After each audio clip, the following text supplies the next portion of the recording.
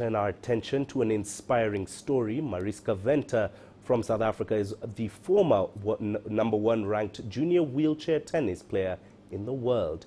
The rising star is settling well into her senior career with some impressive wins in Europe.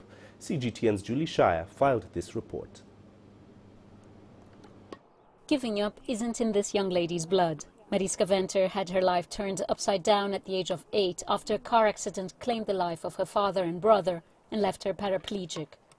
Instead of hanging her head, she picked up a tennis racket and decided to become a professional tennis player.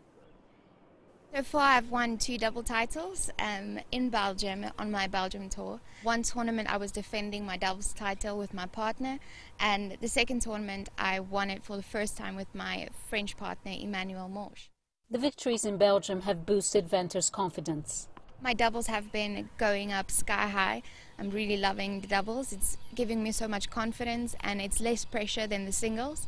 But I am also a singles player and I do believe I can be a Grand Slam winner and in the top 10 in the world. I have the confidence and I work hard. I believe anything is possible. Venter, however, faces uncertain times going forward. Not able to play in regular tournaments has resulted in her dropping to 64th in the world.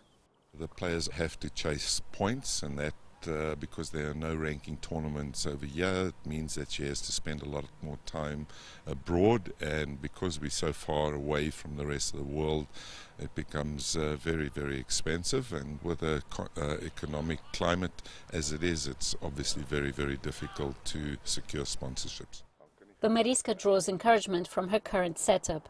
The 22-year-old shares a special bond with training partner and veteran Grand Slam finalist KG Montjane. I have so much hopes and dreams still for the future, and also I have got an amazing team in South Africa with KG Montjane as the number one in South Africa. We have the same coach and we train in the same courts and the same base. So having her there and seeing how she performs at the Grand Slams makes me positive for what may happen in my future. On Venter's bucket list is the wish to partner with KG Montjane at the Wilton Cup. She also dreams of qualifying for the 2020 Tokyo Paralympics and of bringing gold home. Julie Scheier, CGTN, Pretoria, South Africa.